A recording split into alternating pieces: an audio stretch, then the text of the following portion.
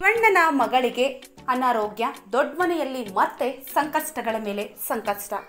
ಇದರ ಬಗ್ಗೆ ಶಿವಣ್ಣ ಮತ್ತು ಅವರ ಧರ್ಮಪತ್ನಿ ಗೀತಕ್ಕ ಅವರು ಏನಂತ ಹೇಳಿದ್ದಾರೆ ಅಂತ ಹೇಳಿ ನಮ್ಮ ಈ ವಿಡಿಯೋದಲ್ಲಿ ನೋಡೋಕ್ಕಿಂತ ಮುಂಚೆ ನೀವು ಸಹ ದೊಡ್ಡ ಮನೆಯ ಅಭಿಮಾನಿಗಳಾಗಿದ್ದರೆ ನೀವು ಸಹ ದೊಡ್ಡ ಮನೆಯು ಈ ಎಲ್ಲ ಕಾರಣಗಳಿಂದ, ಈ ಎಲ್ಲ ಸಮಸ್ಯೆಗಳಿಂದ ಬಹು ಬೇಗನೆ ಮುಕ್ತವಾಗಲಿ ಅಂತ ನೀವು ಸಹ ಆರೈಸಿದ್ರೆ ಈ ಕೂಡಲೇ ನಮ್ಮ ಚಾನಲನ್ನು ಸಬ್ಸ್ಕ್ರೈಬ್ ಮಾಡಿ, ತಪ್ಪದೆ ಈ ವಿಡಿಯೋವನ್ನು ಲೈಕ್ ಮಾಡಿ ಅಂತ ಹೇಳ್ತಾ, ಈ ವಿಡಿಯೋವನ್ನು ಪ್ರಾರಂಭ ಮಾಡೋಣ ಬನ್ನಿ. ಮೊದಲಿಗೆ ಯಾಕೆ ಅನಾರೋಗ್ಯ ಇಲ್ದಂತಾಯಿತು?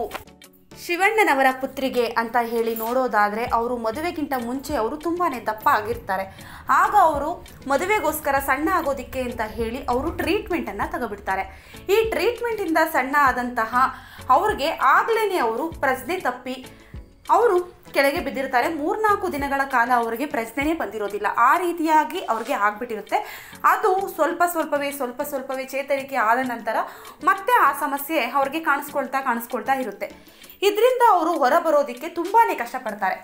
ಇದರಿಂದ ಅವರು ಈಗಲೂ ಸಹ ಅವರಿಗೆ ಅನಾರೋಗ್ಯದ ಸಮಸ್ಯೆ, ಅದೇ ಸಮಸ್ಯೆ ಇವಾಗ ಅವ್ರಿಗೆ ಮತ್ತೆ ಮತ್ತೆ ಕಾಡ್ತಾನೆ ಇದೆ.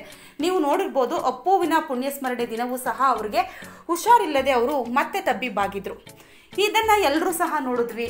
ಆ ನಂತರದಲ್ಲಿ ಈಗ ಶಿವಣ್ಣ ಮತ್ತು ಅವರ ಧರ್ಮಪತ್ನಿ ಗೀತಾ ಅವರು ಅವರು ಸಹ ಅವರ ಮಗಳ ಈ ಪರಿಸ್ಥಿತಿ ಬಗ್ಗೆ ಅವ್ರಿಗೂ ಸ್ವಲ್ಪ ನೋವಿದೆ. ಯಾಕಂದರೆ ಸಂಕಷ್ಟಗಳ ಮೇಲೆ ಸಂಕಷ್ಟಗಳು ಎದುರಾಗ್ತಾ ಇವೆ.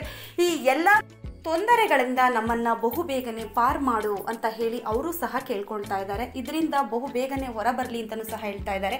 ಆದರೆ ಸದ್ಯಕ್ಕೆ ಅಂಥ ದೊಡ್ಡ ಪ್ರಾಬ್ಲಮ್ ಏನು ಇಲ್ಲದೇ ಇದ್ದರೂ ಸಹ ಇದರಿಂದ ನೋವು ತುಂಬಾ ಇದೆ. ವಿಡಿಯೋ ಇಷ್ಟ ಆದರೆ ಲೈಕ್ ಮಾಡಿ, ಸಬ್ಸ್ಕ್ರೈಬ್ ಮಾಡಿ. Thank you.